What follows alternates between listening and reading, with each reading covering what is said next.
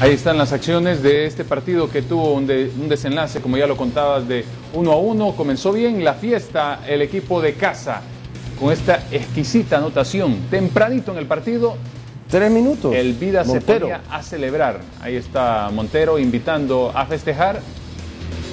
Y el Vida que llegaba con esa obligatoriedad de triunfo al conocer los resultados positivos de sus contrincantes en la tabla del descenso.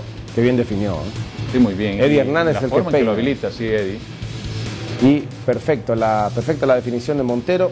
Así ganaba. Dos minutos se jugaban, ni siquiera los tres.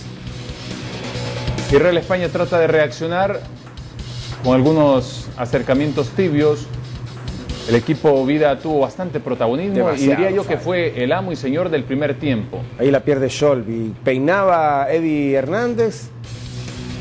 Y el disparo es desviado por el defensor. Otro cabezazo más de Hernández. Y aquí se va a perder otra oportunidad. Otro disparo por arriba de la- del travesaño. Frente al arco. Pegale le al arco. Pudo ser el 2 por 0.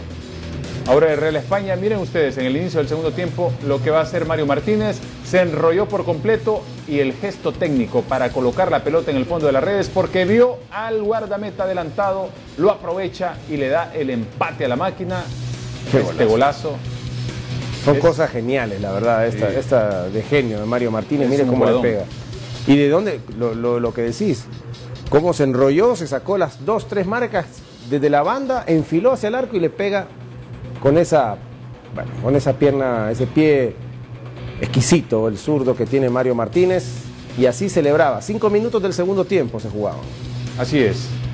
Y luego se dieron situaciones como esta, la intentó Eddie Hernández a su propio estilo de cabeza, pero esta pelota se fue ligeramente desviada. Real España también intentó, que Real España mejoró para la segunda mitad, mereció un poco más. Sí. El primer lugar fue para, el primer tiempo fue para Vida, el segundo tiempo lo dominó en su mayoría la máquina. Ahí se la Sin perdió embargo, Aldo el Viedo. Vida trató de contragolpearlo y estuvo cerca de hacerle un poco de daño. Se le perdió Aldo Viedo y aquí la última del España.